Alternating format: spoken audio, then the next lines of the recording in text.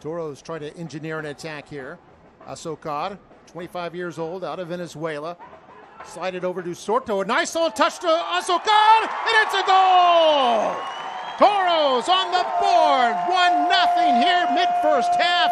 Azócar with his sixth goal of the season. That right hand up because he's going right by his defender. Perfect spot, perfect touch, perfect goal. You could kind of see Melvin saw what was happening and uh, charged out of his goal, but was just a split second too late. And, uh, and what a nice touch there by Sorto to